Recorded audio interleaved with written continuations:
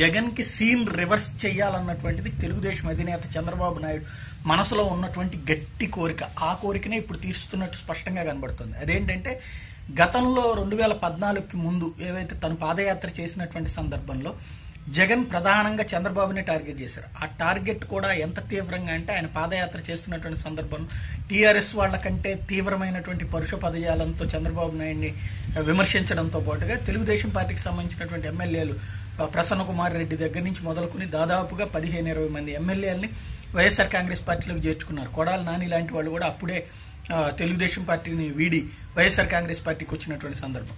ఈ మొత్తం వ్యవహారంలో నాడు చేసినటువంటిది జగన్ చంద్రబాబుని నిరకాటంలో పెట్టారు. చంద్రబాబు కానీ చంద్రబాబు ఆ తర్వాత అధికారంలోకి వచ్చారు. ఇక్కడ సింపతి అనేటువంటిది కీలకం.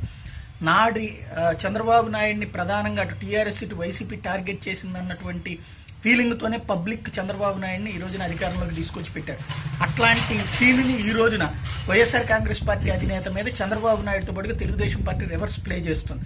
అందులో భాగంగా తను పాదయాత్ర చేసే సమయంలో వైఎస్ఆర్ కాంగ్రెస్ పార్టీ ఎమ్మెల్యేలు చేర్చుకోవడం ఎంపీ క్యాండిడేట్లను పెట్టుకోవడం ఓవరాల్గా జగన్ పాదయాత్ర ముగిసే సమయానికి దెబ్బ కొట్టాలనుకోడు కాకపోతే ఇది ఏ మేరకు ప్రయోజనం చేకూరుస్తుంది అన్నటువంటిది అనుమానాస్పదం. ఎందుకంటే ఇలాంటి సే- అన్యాయంగా చంద్రబాబుని దెబ్బ కొడుతున్నారు అన్నటువంటి ఫీలింగే ఈ రోజున జ- చంద్రబాబు నాయుడు అధికారంలోకి రావడానికి కారణమైంది. అట్లాగే ఇప్పుడు మరి జగన్ని టార్గెట్ చేస్తే మంచిదా కాదా?